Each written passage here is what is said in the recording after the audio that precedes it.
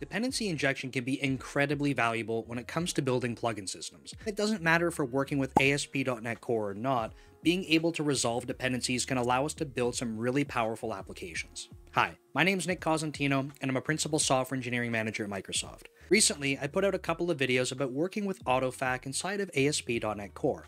If you haven't seen those yet, I'll make sure to put a link above and you can check those out and then come back here to continue on. In those videos, I was showing different ways that we could set up AutoFac and the pros and cons that we have with that.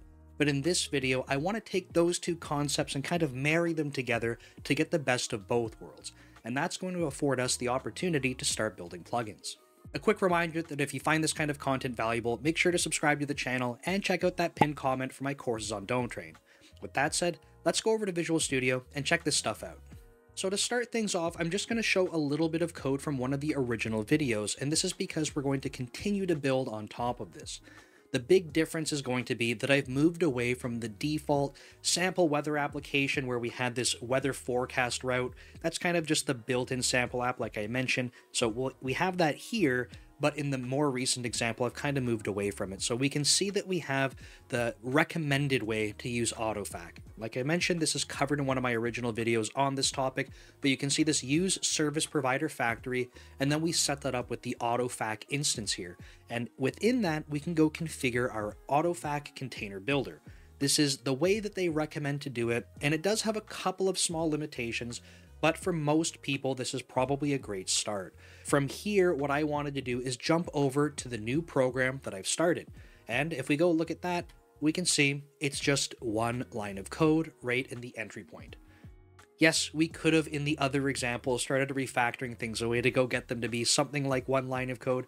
I just wanted to show you from the start, this is a pretty powerful thing. And I like this because the more opportunities we have for, you know, code that doesn't have to change as we go to extend it, it just means there's less things that can go break. And that's a pretty powerful thing.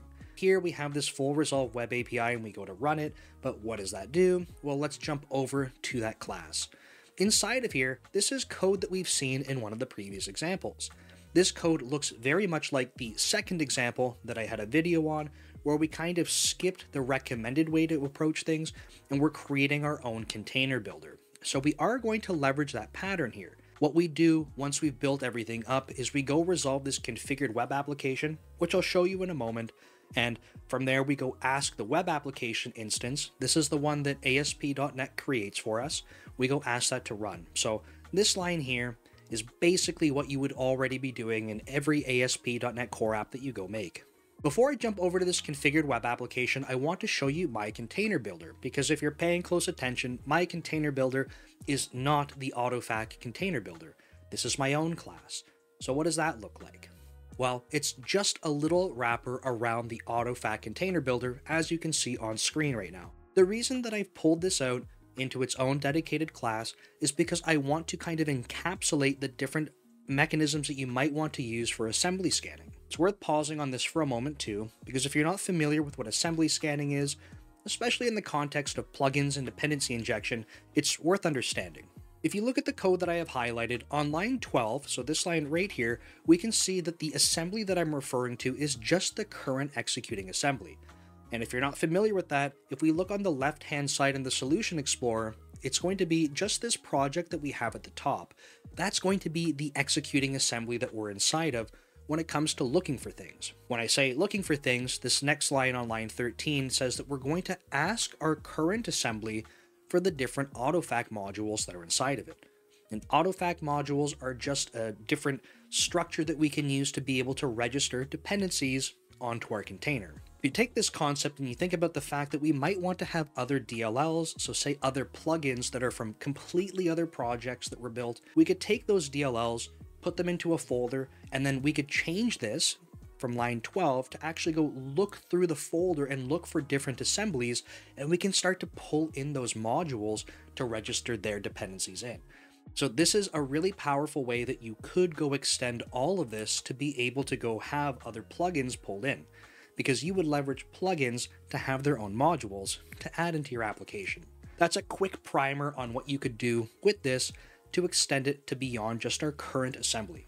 Now I'm going to jump over to the configured web application before we get into something that's a little bit more complicated. But the configured web application, if you look here on the constructor, it takes in two different dependencies. One is going to be just the standard web application that ASP.NET Core gives us, and the other is going to be this list of markers. These markers are a pre-application configured marker. You can see the record type is right here, and it doesn't have anything on it. It's just a marker class, and I'll explain a little bit more about how I'm using markers, why they feel a little bit gross, but how you could take this pattern and extend it to do more powerful things. This is all going to be related to how AutoFac goes and resolves dependencies. So we'll see this in just a moment, but the concept, if you think about this constructor up here is that this class, configured web application, cannot be created unless we have the pre-application configured markers. So this is an important thing to be thinking about as we go forward. So far we've been seeing sort of this skeleton application, and I'm calling it a skeleton application because it doesn't really do a whole lot except get us bootstrapped to be able to have our other functionality pulled in. But there's one more piece that we have to look at, and that's setting up some of the core infrastructure for resolving dependencies. So I'm going to go over to our first module. This module is going to be where we start to marry together the first and second videos that I put together on this concept. We already saw that I was using the container builder standalone from AutoFac, so we got to see that in the My Container Builder class, right? And from here, we're going to look at our first module where we start to register some other dependencies that we need. The first one is going to be the web application builder. That's this first registration. Again, this is going to go right onto our container builder that you already saw. The next thing that we're going to do is make sure that we can have the the configuration, so I configuration, will be added into that container builder as well. These are two things from the previous videos that I said these are core dependencies that I want to make sure I have access to. This next part is going to be where we have the new secret sauce that kind of links it all together and gets the best out of both worlds. Buckle up because this is going to get maybe a little bit complicated, but I think if we walk through it together nice and slow, it's not so bad. I'm going to come back to this cached part in just a moment, so bear with me on that because you might be saying, why do we have this variable pulled out the front? Why do we have this caching here? This is a bit of an edge case that we have to think through, but we need to kind of see the other pieces first. So what we're going to do inside of here is we're going to resolve the web application builder off of the context. So this is a registration method for AutoFac, which means that this registration will run when someone tries to resolve whatever this thing is returning. You can see that it's returning a web application instance. So that means the first time that someone says, hey, AutoFac container, I need a web application instance, it's going to make sure that it goes and runs this. You can see that it does single instance, so in theory, this should only happen once. It does it once, saves the instance, and that way the next time someone asks for it, they already have access to it. That's like saying on this line here, where we go to resolve the web application builder, if I scroll back up, it's going to go run this registration code inside of here one time because it's also single instance. So hopefully that pattern makes sense because you need to be thinking through this as we go through a lot of this stuff. So we're going to ask for the web application builder, and this is another spot where we have these markers. And these pre-application build markers are just an opportunity that if anyone wanted to go register things onto the web application builder instance, if they need to do that before we try to go build anything, this is their opportunity to make sure that those registrations are run. What I mean by that and how that works is that when we go ask this context, we say, hey, go give me the list of pre-application build markers, it has to go find all of the registrations, like this type of code here, that go and return this type. That way you can go run anything you want, right? You can force it to go run before this line because they will go return this type. In my opinion, it's a little bit of a hack to make AutoFac do what you want in a particular order. That's why I kind of said earlier, it seems a little bit weird, but this is something that you can extend. You could also kind of mask this pattern behind different things. I just wanted to walk through it so you can see how I'm leveraging it. If we did need any code to go run before we start going to do this other work, this is a way that we can put a marker kind of in our flow of execution to force other things to happen first. This next part is going to be quite familiar to what we saw from the previous video. You can see that I'm using the second way, and it's the original way, to go get this AutoFac service provider factory put onto this use service provider factory method here, right? So we have the container builder standalone and the recommended way being used together. But how the heck can this possibly work? Because we're dealing now with two different AutoFac containers. That's going to come down to this part right here. This is sort of the magic that makes this all work together because what we're able to do is take the registrations from the one container builder, and that's going to be this context that's passed in, right? This is the one right off of this registration method up here. We can take the container builder essentially, get the component registry, and then copy all of those registrations onto the one that's going to be for this AutoFac service provider factory. So to back up a second, we have two container builders, this one that's at the entry point to the program, and this other one that's going to be the container builder for this web application instance that we're creating. These are two different container builders. What we're able to do is start copying the registrations from one of the container builders to the other though. So now they both will end up having similar sets of registrations. Without this, this would all fall apart. What we're able to do from there as well is make sure that we have our web application builder added on. I should double check though, this might be unnecessary, and it might be unnecessary because it's already in here. I should have debugged this and checked first, but we might not even need this bit of code, which is pretty cool. This here is going to set up our web application to use AutoFac, its own container builder, for the web application itself. Then we go build that web application and we're going to save it to this cached web application instance. I still need to come back to this because we have to go a little bit further, but we return that as part of this whole registration. What we've seen so far is how to set up our overall container builder and then a second container builder for the web application instance itself. Now, from here, if we go a little bit lower, we're going to see that we can go ask for the web application builder, right? This is another AutoFac registration. We can set up HTTPS this way, and then we can say this is a pre-application configured marker. If you recall what I was saying about markers, this means that this code has to go run before anyone who needs this marker can continue. And who needed this marker? I'm not sure if you recall, but this configured web application needs the pre-application configured markers. That means in order to finally get this thing down here on line 62, if anyone asks for an instance of this, AutoFac will say, sure, let me go make that for you because I can see that I have this registration. And then when it checks out the constructor for this, it says, do I have a web application? And that's what this part is going to provide. So there's a registration for it. And then it says, well, the configured web application also needs a list of all of these right here. There's one of them, right? So this code must go run before we can create an instance of the configured web application. This is just an order of operations that has to happen. The reason that I pulled this code out like this instead of just jamming it up here and putting it right after this line, for example, because we have the access to the web application, is that I just wanted to show you that if you wanted to go create your own types of plugins or other separate modules, you can essentially go tack on this kind of behavior if you pulled this out into its own assembly with its own module, you can start configuring the web application itself. So this is a powerful way to do it. It's just a little bit overkill. It's kind of unnecessary in this particular case. I just wanted to illustrate that's how it would work. Now we're going to go look at our first plugin, and when we do that, we'll come back to why we need this cached web application, because it is a little bit out of place and it still needs an explanation. But let's check our first plugin. If we go to this plugin module, this code is very much like we saw in the previous examples. Like I said, the difference is that I changed this route, so you can see this just says hello. I didn't really have to go change this, I just wanted to simplify it a little bit because it was doing the weather forecast stuff. We just don't need that. We have a hello API that we're going to have. It has the same types of dependencies, and it's just going to return a toString of those dependencies when you call this route. That's what that does, but let's start from the top just so we can walk through it. These three registrations are because I want to have three different types that we can go work with. This is from the same two previous videos where we have dependency A, B, and C.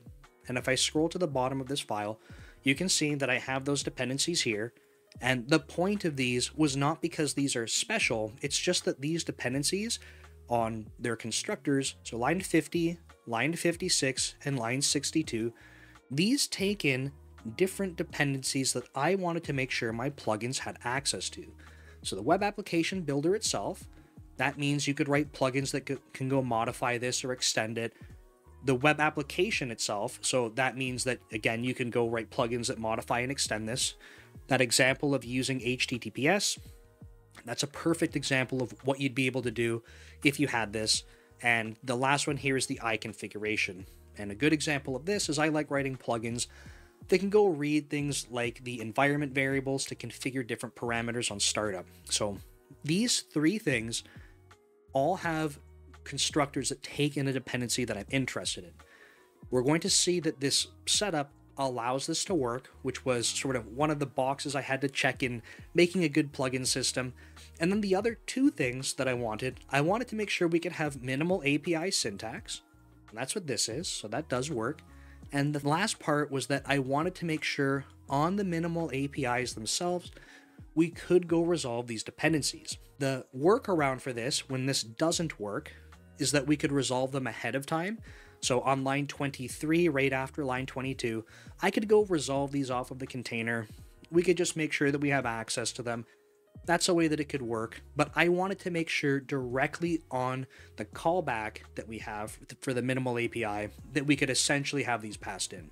This setup does allow this all to work, and it's really cool. And the last little bit before I go run this, as you can see, this is one more pre-application configured marker. The reason that this is here is that it forces this route to get registered onto the application that's built before we allow our program to go resolve the configured web application instance. Because once the program can resolve configured web application instance, it's just going to go run it. If we allowed it to be run before this code got to execute, this route would not be put onto our web application. That's why we need to force the order of operations here. So hopefully that's an example that makes sense.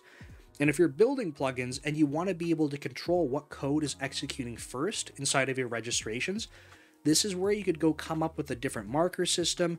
If you were doing all of this without using AutoFac, when you start to pull out code into different plugins, you have this complexity that's added on that you need to consider what needs to run first. If your particular plugin system for your program doesn't really care because it doesn't matter what runs first, this can stay pretty simple, but as soon as you start to need ordering, you need to have your plugins or something be able to control the order of operations. So in my particular case, I'm using this marker pattern to be able to do that. Okay, I'm gonna go run this. I want to prove that when we call this hello method, we should be able to have these three things resolved automatically by hitting this route, and then we can go call toString on all of them, and it will show us that we have an instance of all of them. The toString data is not that valuable because it's just proving that we don't have null come back or something like that. So let's go run it and see what happens. Great success. We have all three dependencies coming in. If you see the toString parts that we have here, we can see we have an instance of a web application builder, an instance of the web application itself, and we have this configuration manager that implements iConfiguration. So we do have all three of these dependencies completely accessible to us on a minimal API on the definition of that being passed in when that route is hit. So to me, this checks all of the boxes that I wanted to have when doing a plugin system for ASP.NET Core. But there's one thing that I still have to come back to, and it's a bit of an edge case, and I almost made this entire video without catching it. What I want to do is I want to go back to our module that we have. And if we go check the module, let me close some of these things here. The module that we have here ends up saying that we need this cached web application.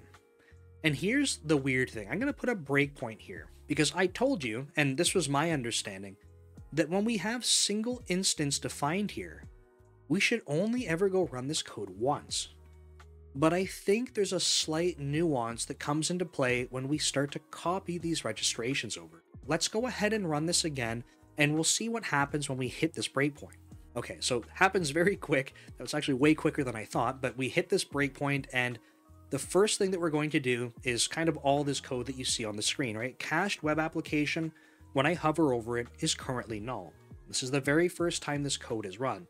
We're going to end up going through and putting all this stuff onto the container. So I'll put another breakpoint in here. Right, so we end up getting to this point where we're copying the registrations over. That's cool. If I check out the registrations, this is going to be a little bit messy to show. Maybe I will use my locals here. Um, what's a good way to do this? Let me add it a watch. This is a, another shout out. I do have a video on using debug watches if you're not familiar with this kind of stuff in Visual Studio. It just makes it a lot easier to navigate. So I have all of these dependencies pulled in here on this container builder already. So that's this on the context, these registrations already exist. If we look, we already have a web application there. That's awesome, right? It should be the web application that we're building, right? Because that's what we're doing in this callback. We have that. We have the web application builder itself. So like I was saying, we probably don't need this bit of code here on line 43. That's all right. But what's going to happen now is if I press F5, you can't see it on my other screen, but it ended up hitting the route. So we're hitting the hello route right now. And you can see that it came back in to this registration method. And I thought this should be impossible because of this single instance.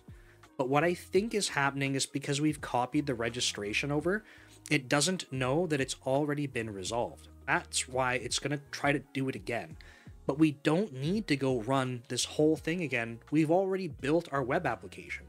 The fact that we are currently hitting a route, and if you don't believe me, I just let me pull this screen over. This is like you know, it started running, it's hitting this route currently, and I hit the breakpoint. We don't need to go run this again. We have the web application running, and that's why I decided, hey, let me just keep a cached version of this.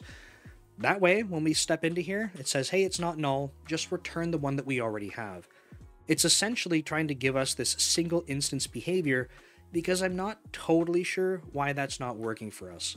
If you're an AutoFac expert and you're watching this, feel free to leave a comment below because I'd be happy to hear more about this.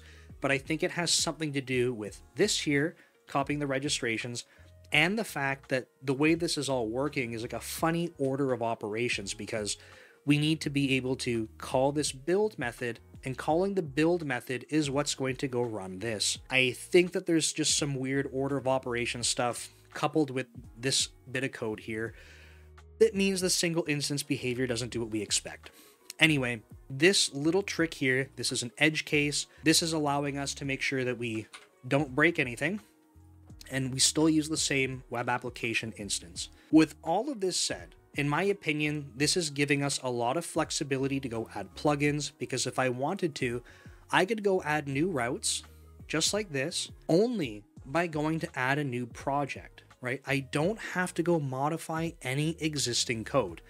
Aside from the assembly scanning stuff, but if you assume that you were like, hey, I already want to support different assemblies from different files, you would go do that one time.